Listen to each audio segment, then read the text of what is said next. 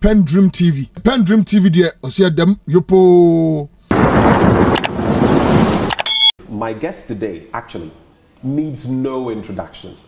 He's a man that we've all encountered in different ways, different facets of our lives. But for the sake of formalities, I shall introduce him. He's a business mogul. He's a statesman, as some would describe him. He's been there, done that, faced the rough tide of life. And today I've caught him chilling. Cool, cool. He was just chewing groundnuts before we got uh, here on air. Um, if you've not guessed yet, I'm talking about Captain Prince Kofi Amoabeng, retired. He joins me today for a conversation. Thank you for joining me. you have to talk about the ground I, had to, I had to bring in the groundnut. I mean, it was so cool the way you took things Oh, yeah, easy, yeah, and yeah. Uh, I see you take life very, very easy. You don't, you don't fuss about it. You don't stress about life. No, if you know you've been blessed, then you only looking for how to return the blessing. Mm, So you don't fight hard. There's nothing for you to really fight for. It's a matter of living a life that depicts the appreciation of what your Creator has done for you. Right. Nowadays, I'm becoming like a pastor. Man. People say, ah, I want to be an Has there been any switch in that regard? No, no, no, no. I mean, no. you know, Lord Kenya, secular music at a point became. No, no, We've no. had those transitions. Is that I've story? always been a Christian, and it, my my upbringing was in deep Christianhood. My grandmother, my mother, and I started going to church at the age of maybe four and a half, five. And I wake up every morning. They take me to church, and I would dance, and I would be by the sofa, and then you know, Presby. When you, you go to church, by the time you finish church, everyone greets everybody and to show that it's a new life. So really, I have been a Christian, in my own way. So people say I don't go to church. I go to church. I go to church when there's a funeral or when there's a wedding I have to attend. And then I relate to my God the way I think I should. So I'm going to push you a bit. Do you go to church at Easter, Christmas, New Year? No, no, no. no. You don't? Those are the good days to play golf, incidentally. That's a, an interesting sneak peek. Uh, there are so many matters we want to discuss with you, but let's start with some of what you've been up to. And you have this foundation you've started. You're impacting Yes, the thank you. lives of many young people. Tell us about it. What's the name of the foundation? PK Amoabeng Leadership Foundation. And I started that foundation because if I'm not, if I don't sleep well in the night, the only thing I think about is the state of the state, Mm. as in the state of Ghana. And it's a story that I tell people that, you know, when I was growing up, my father told me that his father, whom I was named after, did not believe in independence for the black man, that blacks could not govern themselves. Mm. And when he was about to die, he called my dad and said, Come and disprove what I'm saying. So I'll be waiting for you for your confirmation or otherwise. So when my father was going to die, he called me and said, Kofi, your grandfather said this, and I'm going to tell him that he was right, but I should wait for you, because by your time, Ghana would have changed. I've told my son the same as I sit here. Wow. Now, I don't want to just go and tell them this sad situation, but I want to tell them at least I have started something to change the narrative. So, to the Leadership Foundation, what I decided to do with my life, whatever is left of it, is to bring up young people with the right values and attitudes, and our vision is a revolutionized mindset for the African leader. Because everything is about leadership. Hmm. And if you don't have the right leadership, as we don't have, we shouldn't expect anything good to happen to us. Now, everybody, statesmen, leaders, all talk about the mindset, mindset, mindset. It's okay to talk to the youth about experiences and what they need to do and values. Some will take it, some may not take it, but when they see hardships in reality, that's their real life, it's difficult for them to say that they say we should do the right thing. So what I have done with the PK Amoabeng Leadership Foundation is to form PK Amoabeng scholars. I'm trying to create, not just tell them, but create the kind of leaders who can cause change in leadership positions. Um, the thing is, I Do I have hope? Yes. It's like put casting thy bread upon the waters.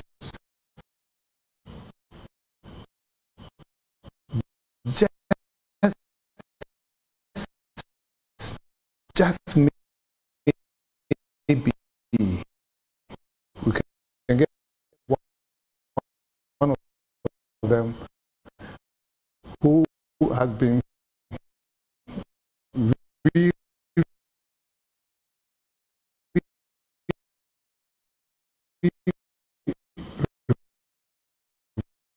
revolutionary and he's built a hospital, he connected the roads, he's, he's, he's, uh, he's created the neatest town in Ghana for sure.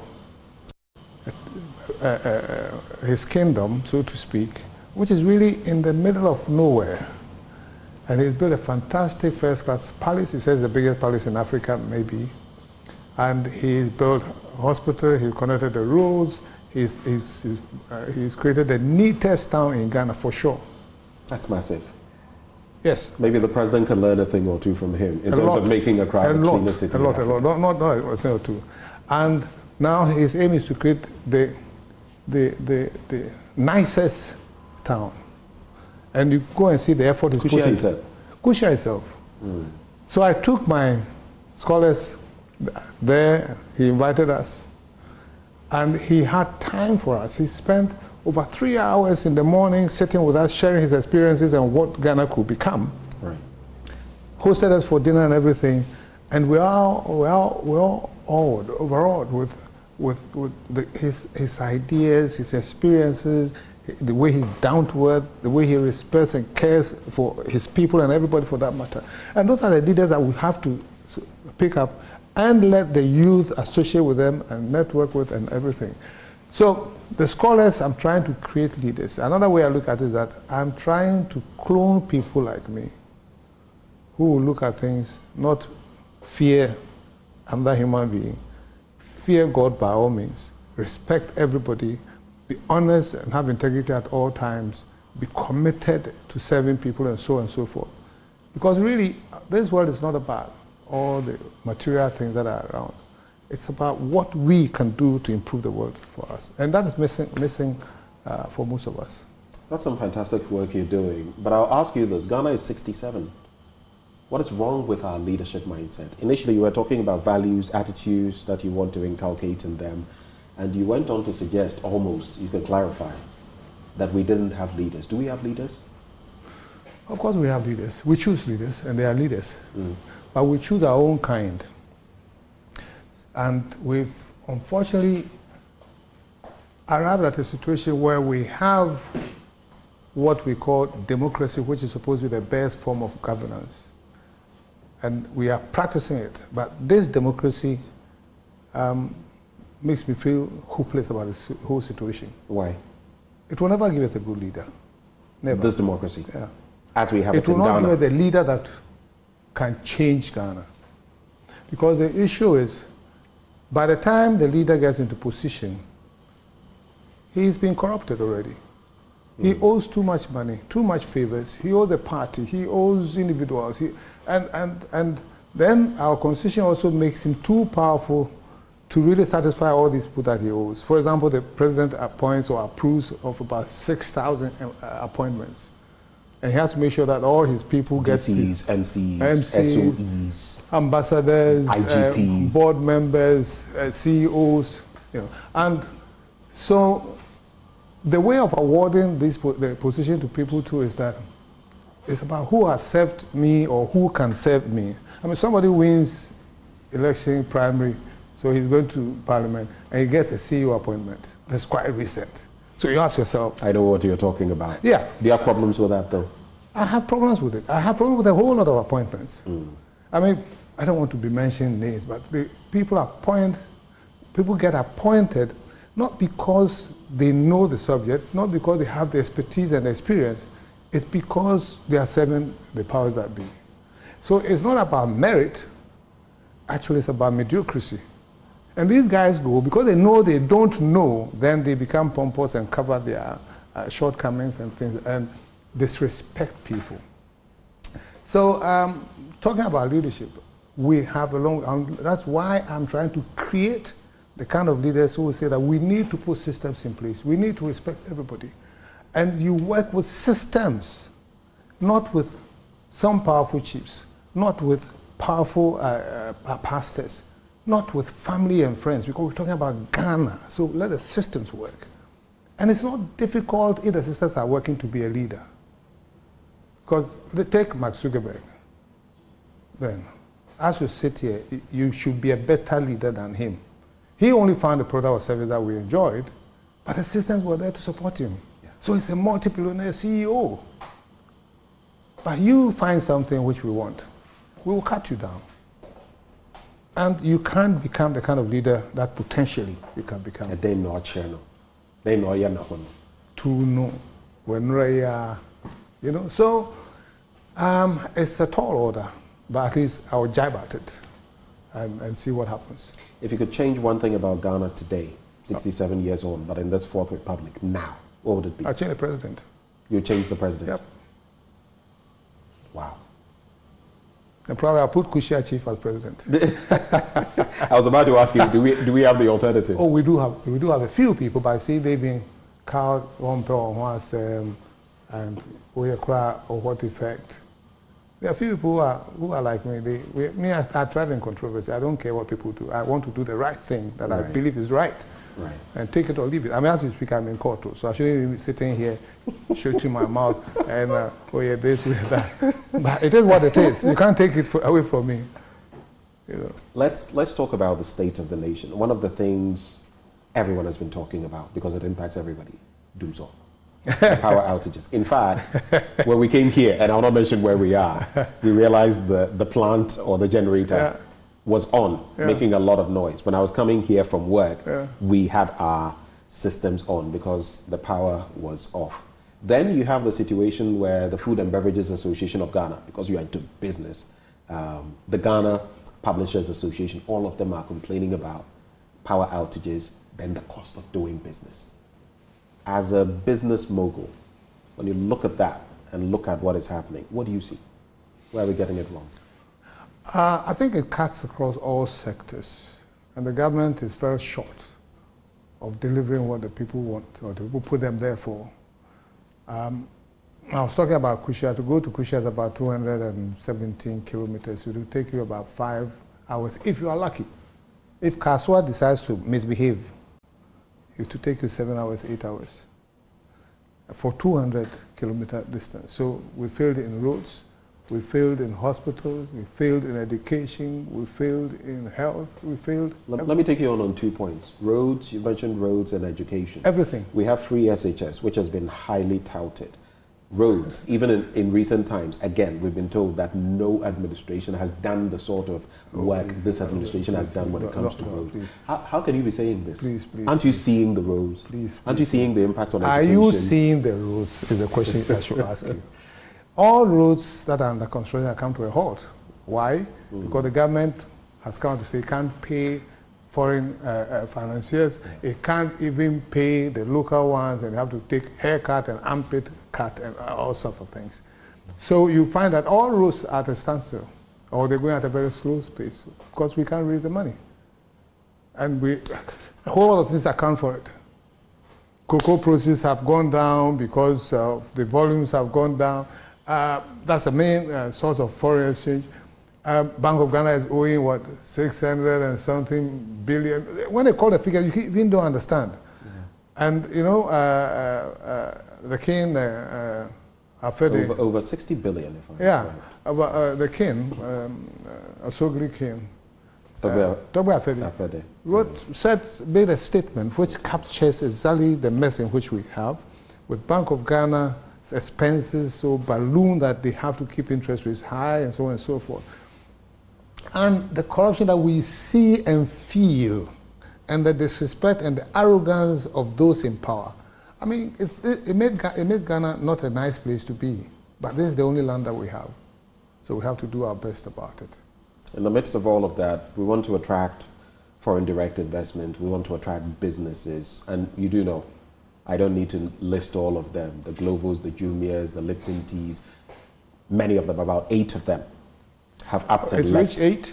And, Oh, yes. and I knew only about six. There are eight of them. I could actually give you a You full know- list. And they are citing different metrics in our economy. But Can we stem the tide of that? It all, it all boils down to mismanagement of the economy. Uh, mismanagement in all sorts. Uh, If I should stick to my sector as in the finance sector, there was a cleansing of the financial sector. And we used 25 billion government figures. That was about $6 billion. And after using $6 billion to cleanse the banking system, we were left in a situation where we had to go and beg IMF for 3 billion. I mean, really, who does that? And I, I bet that the government could have done the, the cleansing in any form they wanted with about half that amount at best. So it's raw mismanagement. So you think, you think even in cleansing, even in the banking sector cleanup, there was, They messed there up. was a mess? There's a, there's a bit of hatred, jealousies, not investigating clearly, and so on and so forth. But I don't want to talk about that because it would be like, okay, so his bank was taken and therefore he's bitter. You don't do things like that. When banks are having problems, you investigate and bail them out.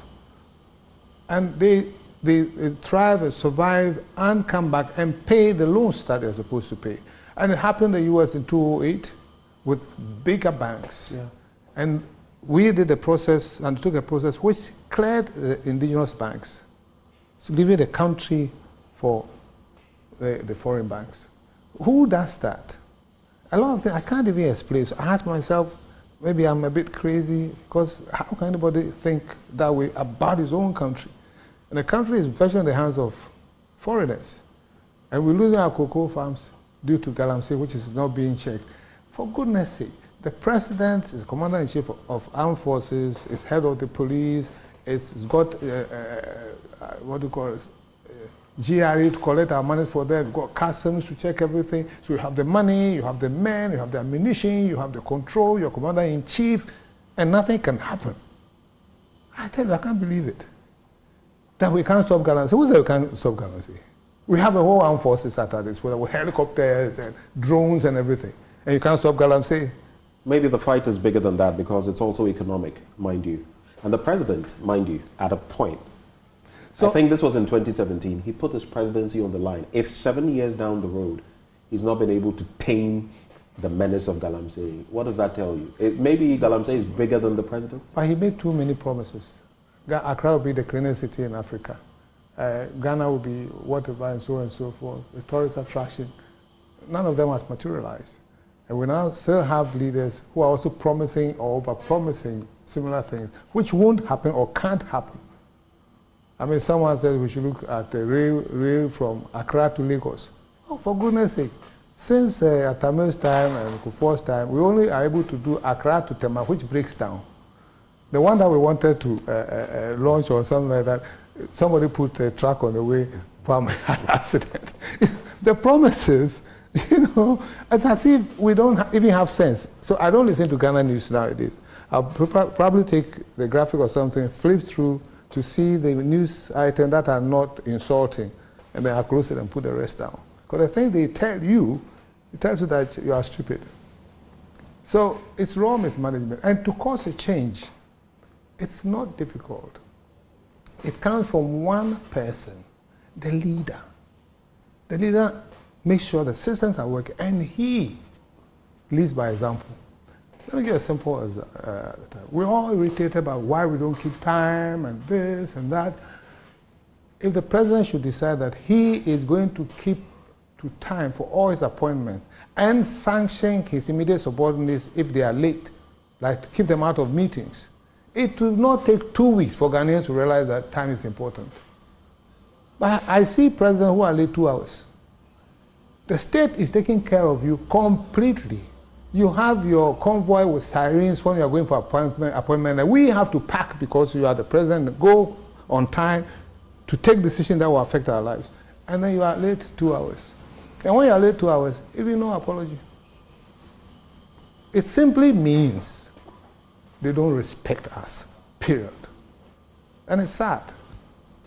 So, With, with, with these sorts of promises that are being made now, you said maybe it's in vogue because the more you promise, well, the more you promise, yeah, the more promise and, and bribe the people and take the power. and forget about the promises. It's as simple as that. So how, about, how about our role on the other end? You know, you said, you said at some point that we get the leaders we deserve, right? yes, absolutely. How about the rest of us who, who also, whether we think differently or not, feed into this system? Because I've also heard people say, when even it's political primaries, even recently in Ejisu, people will tell you openly, you know, your cocoa season new because yɛnya to mo mu wie pɛ, game over, so we must get a pound of flesh Yeah. now. How about us? Well, that's why, that's why we're sitting here. As we are in the minority, like you are certainly in the minority, forget it. You know? Because the majority of the people, they have myopic minds, they are eh, probably illiterate, they certainly are not discerning. Because anybody who would take even a thousand cedis and sell his or her future, can you understand the person? So if I take thousand now, for the next four years, I'm going to be exploited. My children won't have the right schooling. We won't get the right hospitals. You won't get the right rules to work on. But you still will accept, for, for most of them, 20 cedis, not even a thousand. So one, and democracy is by representation. So if the majority will go that way, then you, you have to follow. It's as simple as that. In terms of, just to wrap on the economic front, resuscitating our economic life. It's not impossible, but how will we get there? Look at the metrics. Inflation has reached a 20 plus year high. You look at the currency. It was coming from 50 something. And the funny thing about That, that's, what, that's when it hit almost 54%, the, thereabouts. the funny thing that people don't, don't understand by inflation is if prices go up by 50% and you say inflation is 50%, when you say it's dropped to 40%, it means on top of the 50% which didn't go away, there's another 40% on the whole lot. Mm.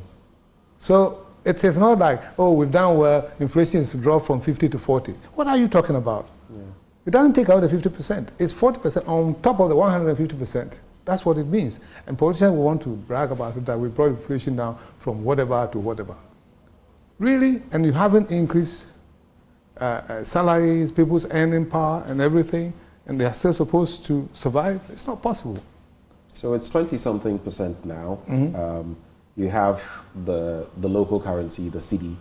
As for that, it's almost 15. Yep. I think as of yesterday it was 14.8 Nine. Nine. thereabouts, 14.9 to the American greenback. The pound is around 17. Then you look at the other metrics, the cost of living.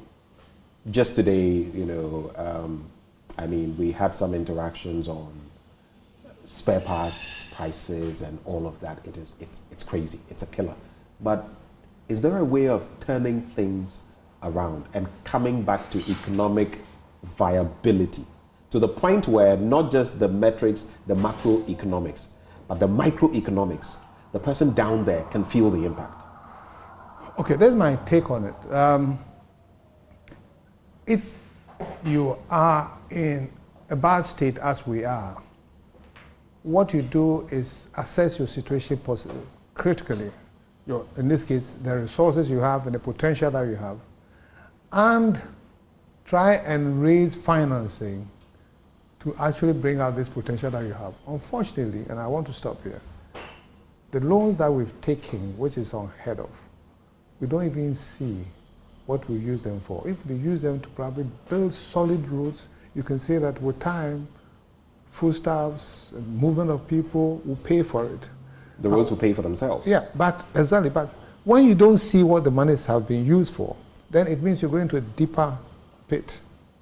And so the solution, if you ask me, take prudent loans, strategic loans, or strategic funding. It doesn't all have to be loans. Some of it, you can actually, we have BOTs and BOs and all sort of things.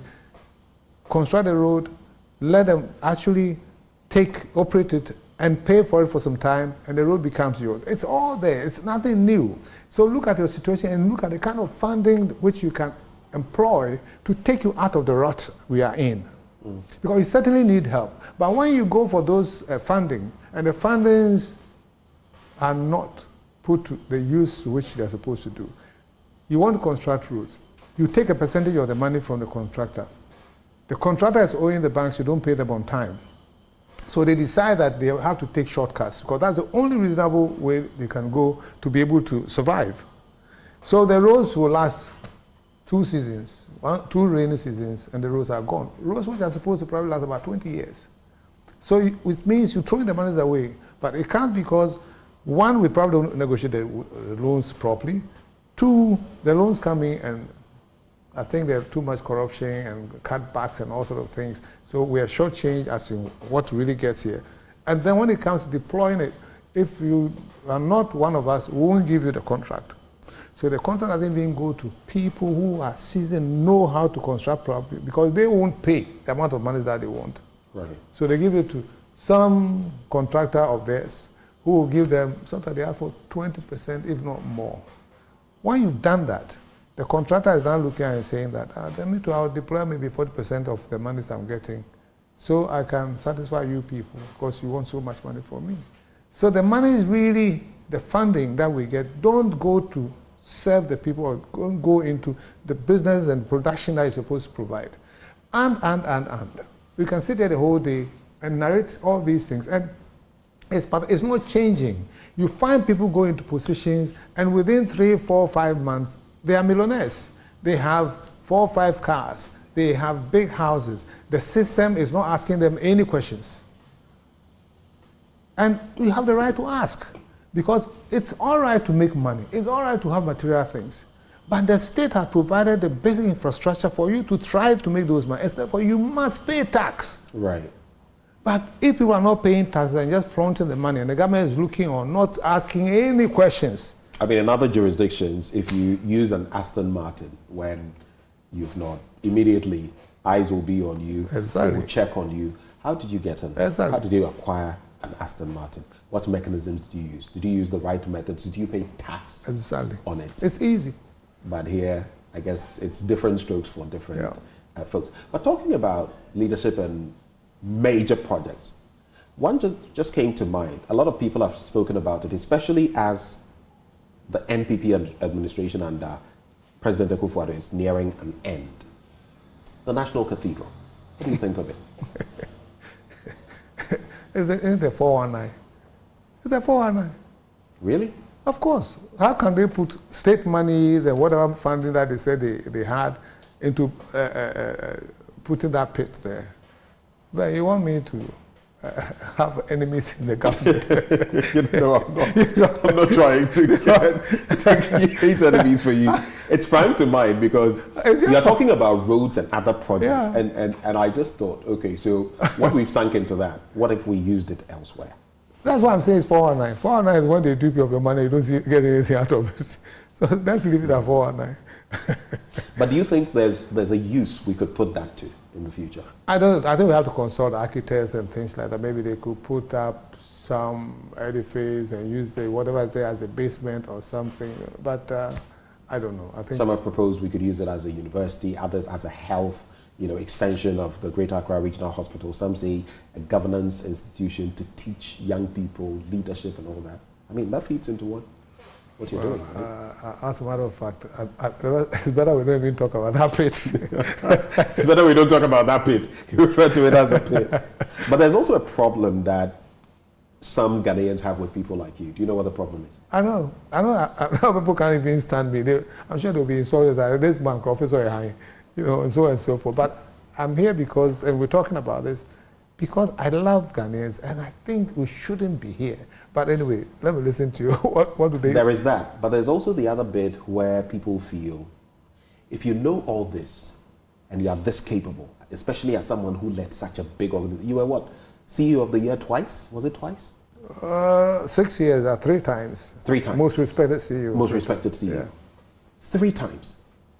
People like you can do great things. You have done great things, you can. And people will ask, okay, so you talk about the politicians. Why don't you want to do something, take the initiative, Thank and you. try to lead? Thank you. So, I started a company, good story, with three people in Kantamanto, no money virtually. And we grew it to become a bank with uh, conglomerates. We were in South Africa, we were in India, uh, sorry, sorry, not India, uh, Nigeria. We had uh, UT Life, we had UT Property, we had UT Logistics, a great story. take Kofi out of it. Now, so we hit a bad patch with the banking because uh, we had problems. We go to Bank of Ghana, they try to help. This new government comes, it says, no, we're not bailing you out, cut. Now, what most people don't know is that when I saw the problems that were coming in the bank, I told my board that, listen, I think I've stayed too long, and let's bring a new person. They even opposed it initially. I said, no, no, no. I'm over 60, and I've stayed too long. So almost two years before the bank was closed down, I was not the CEO of UT Bank. You've mentioned that before. Right. Right. How many people in Ghana would say that what I created and I can be the CEO until it collapses under me? I said, no, no, no. Please, for the sake of investors, the sake of workers, the sake of the state and everything, I am backing out. And I backed out. Now, when the bank went down, what did they, they do? They kill the bank for whatever reason they, they, they killed the bank for. I have some idea, but we can't discuss it all, so I won't touch it. They came for me, the guy who resigned two years ago. And during that two years, my board never complained about anything. Bank of Ghana never complained about anything. Two years. But they came for me, went to EOCO, and now I've been in court for four years.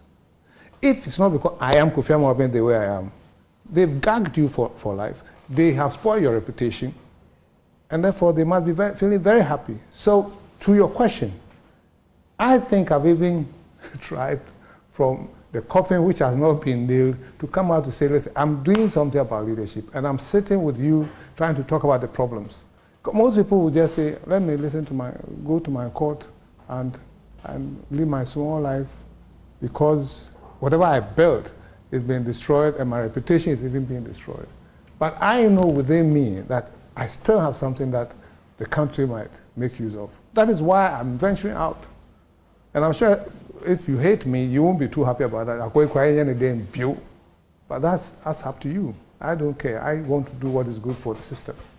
So, to your people who think maybe uh, I haven't done enough, it's not easy. Mm. Have they thought of how I'm surviving and where I'm even getting funding to build this PKMB leadership and PKMB scholars? That's the bit I can do. I don't have state money. The state even doesn't want me in the system. That's what it looks like. But I'm still striving. And I tell you, I'm blessed. I'm doing the bit that I can.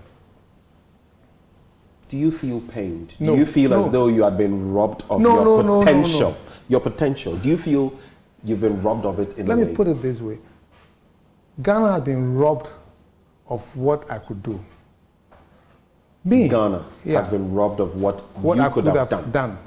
You see, the thing is, boy from Ukran to me, raising to a point where I'm most expected you, national award, you name it, all sort of things, Johnnie Walker and all that. I think I don't have anything to prove. It's beyond what I thought I could ever do. But with the acquisition of those, the knowledge and the expertise, it didn't come just for the heck of it. What do you do with it for the generation after you? That's what I'm trying to find out. But then what do you do with it when you're carrying all these problems of court and stigma? Because I'm, I'm, I'm in court for criminal offense, the state versus Prince Kofi Amoabeng. And it's going for four years. And I'm saying no. I can die in moment I'm waiting for the court action to end. I I may not be able to give back anything. I'll just die. So at least I'm venturing out and doing the things that I think the youth will need and give a bit of hope. Because now the problem is, all the youth, when I go to them and I'm talking, the first question or eventual question that they will ask is that, would you advise them to stay or go? And it's a painful question because the Ghana that I saw when I was a kid, we're not giving them even a tenth of it. In fact, we're giving them negative of it. But what I tell them is that one, I believe there's a creator, and the creator has put you in Ghana for whatever reason. So his plan for you is to change or do something about Ghana. So when you leave, I think you've not been too fair to the creator, unless you're going to study and come back. But that's one side, that's whether you have faith or not. The second thing is, you can be of relevance where there are problems. And of course, Ghana now, we're, we're surrounded by all sorts of problems. So you, as a young person, look for something in the problems to change. That's point two. Point three is if you leave, you will get decent job, most likely, feed yourself, buy a car on credit, um, furnish everything on credit. Live when you're coming on on, holidays, you use your credit card to buy a ticket. When you go by, you're going to do double shift to pay for it. So really, your relevance is limited. But in Ghana, you can you can actually be of relevance and, and create an impact. You have a chance. So don't throw it away. The final thing I tell them is that I cannot stand living abroad because I'm a fourth class citizen. You come out of your apartment or whatever, even a kid, white kid sees you and he looks at you like he's seen some animal brother. I can't. I can't. And you, I mean, uh, there was something in Turkey, something, and then they came and they said, Americans out first, and then Europeans out, then uh, Indians and Arabs out. And they left a poor black man there. And so let's stay here and try and change. It's not easy. I was tempted to leave when I left the army in 1982. But after looking around, I said, I will stay. And look at what I was able to build because I stayed. If I had left and I had a job in Salisbury, somewhere in UK, Salisbury, as a bookkeeper, I would have been lost there. But now I'm pensioning, probably married some white old lady, and that would have been my fate. So let them stay. But it's not easy. You can't tell everybody to stay because e- e- everybody's has got a different tolerance level. And some people cannot let the center hold, and therefore they may have to go. But we have to give them hope for their own country. Before we get to another crucial point, I just want to find out from you. Mentioning the military brought to mind, I think I recall in your book how you spoke about nearly being poisoned at a point way back then. Are there people today that you feel wish you were dead? Wish I was dead. Yes, dead. That I, Kofi Yeah. Yeah. I don't even care. I don't think about those things. Honestly, I don't. I don't think negative things. I don't at all. I don't hate anybody. But do, do some people, through their actions or inactions, show that they wish you were not even here? I won't even see it. I won't. I mean, people are supposed to be my enemies or don't like me or I hear stories about them. I still see them, hi Charlotte, saying, it's only three seconds and I'm gone. And you're out of my life. You think I, I'm- have to sit and let that eat me up? No, no, no. Ben, listen, I don't bear grudges. I don't have pain. I always feel blessed. I thank my God. I do things that I think will make God proud of me. And you play golf. I play golf. I play golf a lot. Let's talk about this year. It's a crucial one in our Yeah. electoral life. We're going to the polls again, and already we've seen some not too pleasant signs. I'm sure you saw recently in Ejisu Yeah. some of what we saw and a few other things I probably shouldn't mention. But the, even the limited voter registration exercise, Yep. people toting guns, machetes, voter registration, young people. What are your, what do you anticipate? I'm scared. Of I'm scared of it. But I don't waste my time uh, fearing what's going to happen in the future. I live in the present. But I'm scared in the sense that um, I think even though it's not difficult to see that NPP has messed up badly and disappointed Ghanaians, they they have a lot of money, stolen or whatever. They have a lot of it. And therefore, they will use it to try to stay in power. That is where my fear comes in because I think if there's a, an obvious win for NDC and the NPP are using their money and influence to rig and do all sorts of things, things might explode. Look at the- talking about the machetes and guns that people are tooting. So we have to pray that for, for whatever reason, the elections go smoothly somehow and we're able to choose a new leader. And uh, whether it's NPP or NDC, it is what we have. It's better to have peace than anything else. Because our situation, we say, is bad. It's better than being at war. Definitely. Exactly. So let's thank God for His mercies. Let's try and pray for things to calm down. But certainly, we're going through a lot of hardships. And the change is not going to be very smooth. I mean, it's not as if NPP will give it to NDC. NDC will have to fight for it. And already you see like what is happening with the Jews and the rest. It is scary. So we need to pray and hope for the best. But it shouldn't put us in a, a, a state of paralysis as in we don't know what to do or we're not going to work hard. And we have to work hard for it. There are two things that come to mind from there. The rhetoric from both of our major parties.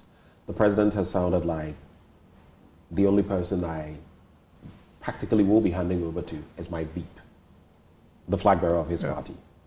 Then you hear the chairman of the NDC also say the NPP should gear up to hand over power peacefully in their own interest. It's almost like jabs, a, a game of darts. You throw, And then, and I throw, and forgotten one. and- Brian, Brian at some point said, never, yeah. would never. That, that, that Swore makes for very cold comfort, doesn't it? Uh, uh, it, that's why I'm saying it's scary, but uh, I'm sure see, at the end of the day, that's why when you have faith in your Creator, it makes life easier. At the end of the day, this world is for the Creator, and He will let what will happen happen. So we shouldn't be too scared as to what is going to happen. It will happen. Uh, not with God's blessing as such, but it means I will take it that if it happens, then that's the way He wants it. Therefore, we take it like that. So your faith is He'll order things, no matter how they turn out, He'll order it as he wishes. As He wishes. Ah, his will will always be done. And you know, one talking about that, one thing that reminds me of that we are suffering now because we are bad people. Ghanaians are suffering now yeah, yeah, because we are bad. people. Generally, generally, we are bad people. So when you are generally bad, I don't think God will give you a leader who will come and just liberate you. He says, "Tranho sofa kakra." so really, But, but the Israelis, it took over 400 years before he bailed them out and took them out. Tranho na sofa that's what it's like. we are generally bad people. Oh, yeah, yeah, yeah. What yeah, makes yeah. the Ghanaian generally We are bad? evil. I tell you, so many instances. We don't love ourselves. We hate each other, petty jealousies. I have a lot of examples. I see it happening every day. I never understand. Listen, give two friends. Let me say, there are two, we have to use that as example. There are two beggars. I won't say where they are, otherwise you see them. And they've been there for 30, 40 years. One day I gave one of them, I had 20 cedis to give to them, and they become my friends. I know their names and everything. So I gave 20 cedis to one of them. I said, Uni unia, uni unia. And I che- checked the mirror, and he was, he was hiding the 20 cedis from that guy that he's been sitting there for the past 30 years begging. What kind of mindset is that? You didn't work for it. You know, both of you are my friends. I tell you that you and your brother, you still hid it from him. So you think if he does that, then how can you blame the president or those in power? It's the same life. Here, we are evil, we don't love ourselves, we are jealous, and I was explaining to people that listen, we must understand why we, who we are as Africans before we try and find solutions. Because time will not allow, all I'll tell you is that the African is, is, is, um, is capable of excelling in life because we go outside and we excel. Right. Now, the only reason why we excel is due to two things. One, we get out of our toxic environment. And by toxic environment, I mean environment where decisions and appointments and whatever are taken because somebody is my brother, he's my friend, he's a family member, he's my tribe, that's nepotism and all that. And also uh, influenced by where the person worships, um, who his chiefs are, and which party belongs to. That's a very toxic environment because the systems don't work. Now the Ghanaian or the African moves out of that toxic system and goes into a system where things work. Don't park a double yellow line. Your fine is maybe 50 cedis. Even the king will not park there. And under those circumstances where the system is working, then you see the potential of the African. So really, the prescription for us is harsh application of the systems. Harsh. Harsh. Harsh. Where harsh means Harsh what exactly? means, uh, what is your betcha? And you are not looking. you are not looking who, and nobody can influence you. I mean, really, I, I, I sacked my brother at some point. you sacked. Yeah. I was working with him and I had to sack him. As in, you, at UT. Under M, you sacked him. Yeah. And then my Busiapening came. A lot of people came, but my Busiapening came. I looked and I said, listen, I was like, I think it's better that you, you take me out of the Busia because uh, I can't get him back. Then I look and I said, listen, the money I'm giving you now, do you know that if this guy works in the company, when you come here, I'll be broke. Or he will spoil the company and I can't give you money. So why do you want me to employ him? And it's about merit, it's about sanctioning. But what do we have? Interference from our chiefs, interference from our pastors, interference from family and friends, interference from politicians. So we can't let the system work. So the system that and system they don't uh, exist in a vacuum. As soon as you kick out the good system, the bad system comes in. And we've got a bad system taking over the, what is the right system. So somebody is, uh, has money in their homes or whatever, and the president says, oh, yeah, it's okay. Why even express an uh, opinion about it? And you know you are the president. Don't say anything. Let the systems work. But we don't. And that's why we have the problem. But if the African is governed by harsh systems and no consideration, no interference, I tell you, it won't take even six months for everybody to see that we are on the right track. Just, just to dwell briefly on the electoral year, what are your expectations of our electoral commission? I'm sure you've heard of the trade-offs from time to time and the accusations, but also the good work they are doing. What are your expectations of I, I haven't bothered to really look at the work of the EC, but my fears, you know, I'm a finance guy, my fears is that if uh, the cedi to the dollar is now 50 to the dollar and we are just about getting to election, and the records are there, every time go to election, the, uh, there's a huge uh, devaluation of the cedi or the cedi depreciates against the dollar. So I wouldn't be surprised if the cedi by the end of the year is hovering around 18, 20. 18, Yeah. 20. Unless there's serious interference. Did you say 20? Yes. 20 We are cedis to the 15. dollar. We are 15 in May, and we are heading towards uh, election. And of course, there will be that time where the MNCs will repatriate their funds. It'll, it'll hamper this, the spending that comes with elections. And your forecast is that if all of the, those come to bear, we could go that high? Exactly. And I'm not someone who's uh, noted for uh, wrong predictions. You know, so we, as I said, of course the government will try to put some interventions. You see, the problem with the cedi and the dollar is we are depending on imports too much. It's as simple as that. And our exports are going down. Now even cocoa exports are going down. And people are leaving the farms and things like that. And the Gamse money is cry, most of it we don't even see. So under those circumstances, you can never have a currency that is strong. It will never happen. And when people talk about the evolution of the cedi and the period of the cedi, at my age, I've seen the cedi, not even when I was a kid. I was an army officer at the time, retired. In 1983, it was 2.75 old cedis to a dollar. Well, you could even come to the Fourth Republic. There was a time when it was almost one to one, when we redenominated no, forget about that one to our one. currency under Kufuor. That, that is, that's a gimmick. Listen, so if you take the redenomination off, it means from 83 to now, it's gone from 2.75 to a dollar to 150,000 to a dollar. Can you put a mind to it? That's what it is. So it will always, I mean, it will always go down because we don't have the structures and infrastructure and the plans and the strategy to address it holistically. But, but even talking about that holistic approach, just briefly on that, the international system itself, and even pegging currencies to the dollar and all of that, is it not hugely skewed against economies like ours? I think you use uh, uh, a, favor- a favorable word, as in what they're doing to us. Because anytime we go to IMF and World Bank, Social Adjustment Program, the two things that they do is sell off your companies. First thing is the state companies. Private companies can't say sell off. But why wouldn't they uh, uh, advise them to close down a company like UT Bank, which is helping Ghanaians to build their company and things like that? So it's not in their interest. And the precision is, al- is always sell off companies and devalue your currency, which makes our goods cheaper. And that's always the prescription. And our governments always swallow it.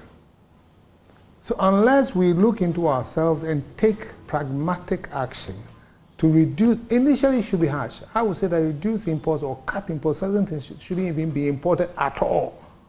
Hmm. Because in our homes, I want to eat uh, eh, a eh, jollof, but I'm in Nisika.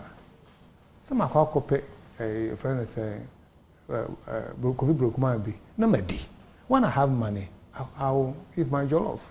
So why is it that we're being forced under WTO and all sort of things to import things that we cannot pay for? I don't get it. I mean, as a simple person, I simply don't get it. And our governments always agree and they can't take positive action. I will tell WTO, whoever, me ni more imported bill because me ni sika.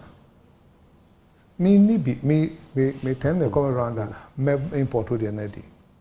Now, such a simple action, what would be the effect? Local rice price will go up.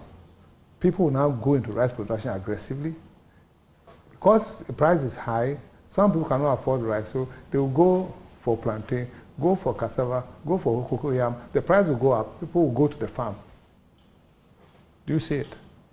It is not. I don't know why we don't apply the knowledge we have and the common sense that we have. Maybe I'm. I, I rather don't have the, the knowledge and common sense. Maybe.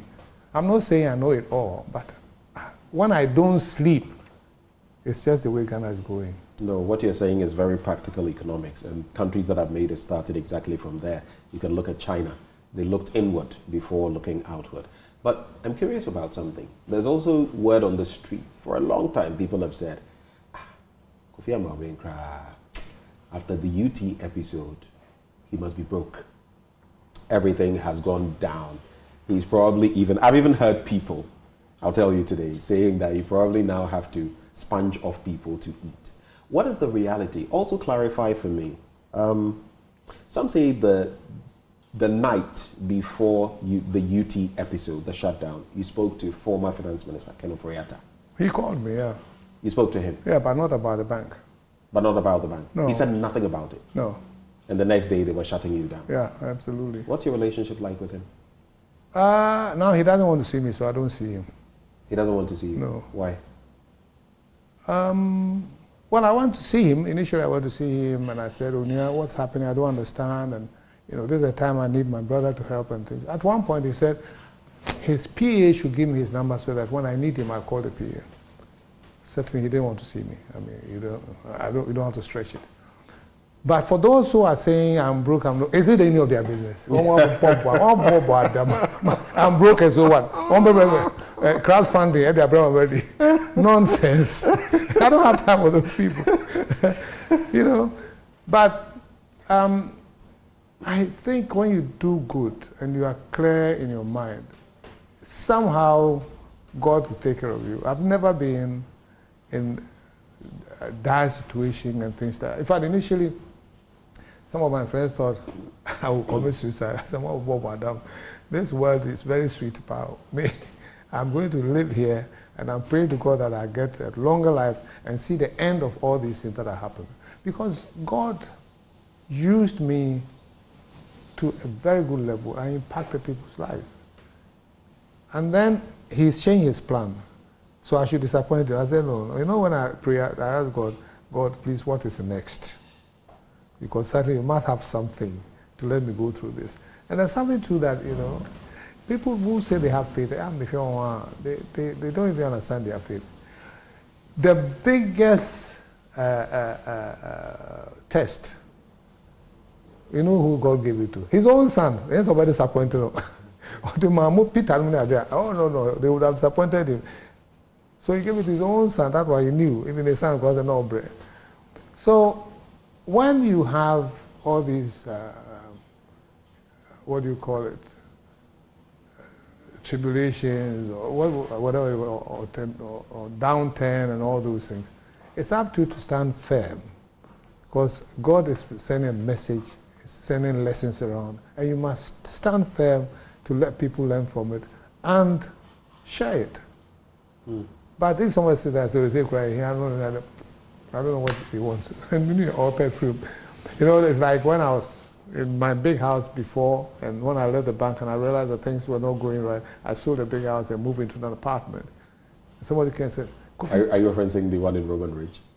Yeah, Roman? Ridge. Right. So someone came, a friend, they said, Kofi, no, no, no, this one I can't sell. If you sell, they say you are broke. I said, who will say? He said, well, they- they. I said, who and who?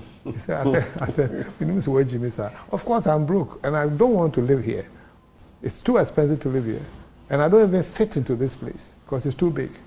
And I moved. And it's my life. And I don't care what anybody is saying. If you want to bring me money and you are saying that, oh, you are not broke, so I, I won't send it, then I'll tell you maybe whether I'm broke, therefore bring the money or not. But you, you don't have anything to add to my life and you say, well, broke, now, so what?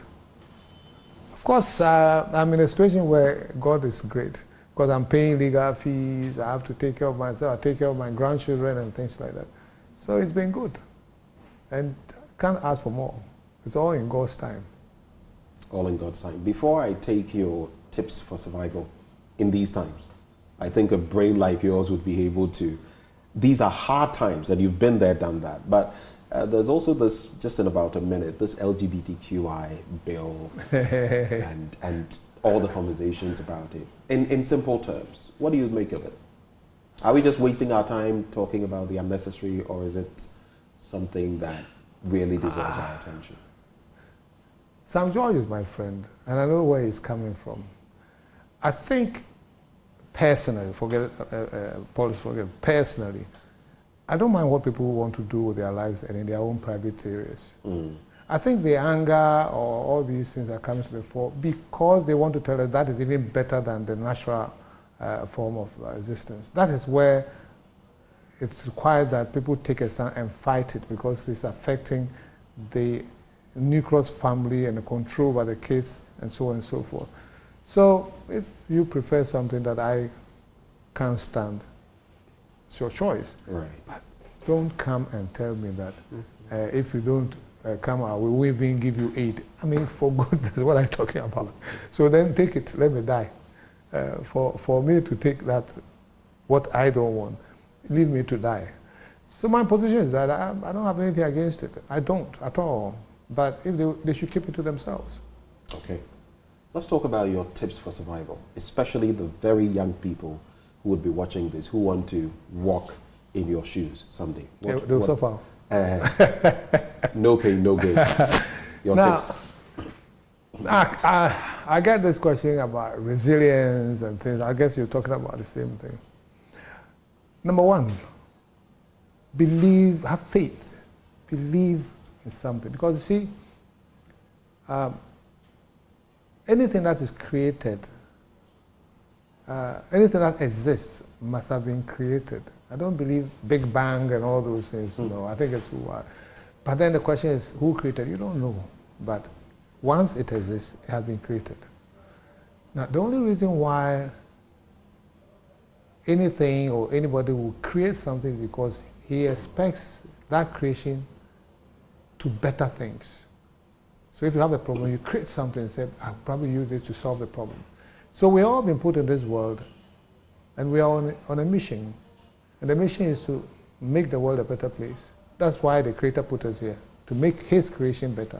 So find it and do it right and make the world a better place. That's the first thing. It makes you God fearing, therefore you can accept situations and say, maybe this is what God wants, and what do I do out of this? Right. So you are not too mad at things. Certainly, you won't commit suicide. You can have the, the, the wherewithal to stand challenges because you know that there's a God who has a purpose for you and will take you out when He wants you to go out, not when somebody wants to take you out. So the first thing is have faith in, in, in, in God and in creation. The second thing is do not be defined by material things. You know, you need material things, worldly things to survive and to lead seemingly a better life. So it's good to have money. It's good to have maybe properties, cars, a house. It's good to fall in love. Um, it's good to have children. But really, they're all worldly things. And as we all know, you came without those things and you die without those things. But you need them whilst you're trying to impact the world positively for life to be meaningful and for you not to suffer too much. But a lot of people get defined by these worldly things to the point that somebody's love or wife or girlfriend dies and their life is virtually ended. I sold somebody's house and he told me that if I sold that house, he would die. I said, then prepare to die unless you bring my money. and don't laugh. And I sold the house. And he died. So I said, ah, this guy was a prophet and I was joking with him like that. He died. you know, so... This is a serious matter, you. That's a fact. so because... So the person took a loan and... So because he said, if I sell the property, if he doesn't, he wasn't paying, if I sell the property, he would die. I should say, then don't die, take the property and don't pay the money. I just went, see, I went by the system. If you don't pay, we have your collateral. It will be sold. The money is put back for the depositors. Then you say, if you sell it, I will die. I so I told him, I said, prepare to die unless you bring my money. And he didn't bring the money, and we sold. And he died. Let me repeat. And I said, the guy was a prophet. I should have taken him more seriously. Anyway, so do not be defined by material things. I see politicians, so-called rich people, having a lot of houses, a lot of cars. Some of the cars, I don't even see the sense in riding them around. If you go and buy a car, that's about this from the road with all the ramps here. I mean, really, you could do something to impact this world with those monies and not show off as in property that you have. You don't need that much to lead a decent life, right?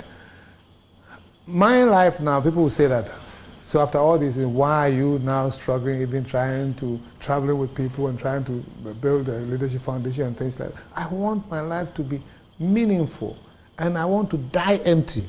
Whatever I have acquired in this world, it should come out before I die. I don't want to die with all sort of things within me that I didn't share. You know. So going back, have a great faith.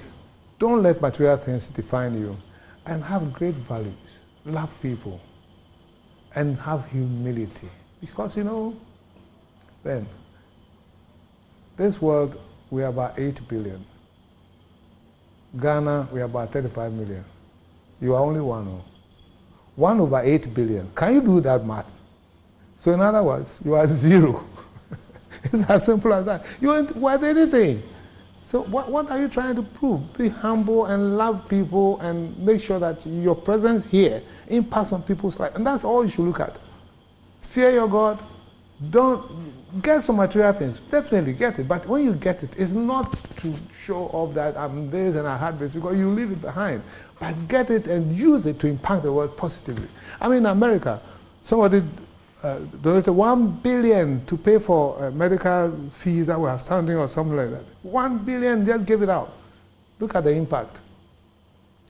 She worked so hard, earned the money, and said, I'll use it to help these people. But here, what do we use the money for? We steal it. The worst thing, we even take it out of our country to put in other people's countries. What have we done, Ghana? Well, uh, it's been so insightful. Sometimes, if you want to contemplate Ghana, you, you, you will not understand. But Really nice. Any day. it's been a great pleasure uh, interacting with you today. Thank you for welcoming us into your space. And thank you for the pearls of wisdom that you've shared with us uh, today. This has been my interaction with, I told you, he needs no introduction, and I love how he frees his mind. Uh, he, I don't know whether he will accept to be called a business mogul, now maybe even a philanthropist, uh, but definitely a leader. Captain Prince Kofi Amoabeng, retired. This has been AM exclusive with me, Benjamin Akabu. Thank you for watching.